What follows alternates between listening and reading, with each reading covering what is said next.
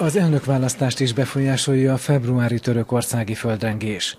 Antakiyát az egyik legszebb török városként emlegették, de a pusztítás megváltoztatta a városképet és az életet. A maradók célja a talpraállás. Az Euronews Szerbia riportja.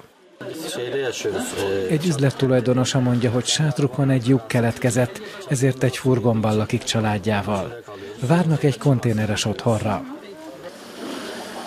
Emine egy kávézót üzemeltet az óvárosban. Úgy érzi, hogy szerencséje volt, mert a régi kőből épült masszív ház kevésbé rongálódott meg.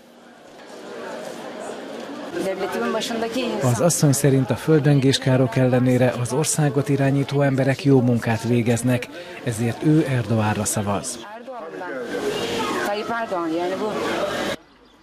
Sokan kényszerültek sátorvárosokba vagy az állam által biztosított konténerekbe. Akik a táborokon kívül élnek, maguk vásárolták a sátrakat. Az elnökválasztásra visszatérnek olyanok is, akik elvesztették otthonaikat, hogy szavazhassanak.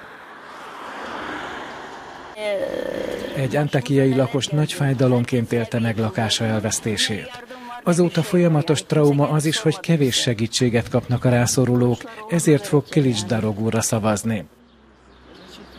Az otthon nélkül maradt embereken segítő aktivisták szerint a megosztottság egyre nő. Mursel Csetén segélyező aktivista úgy látja, hogy az AKP 21 éves kormányzása alatt szétszakadt a társadalom szerte az országban, ezért nehéz a jelenlegi elnökválasztási időszak.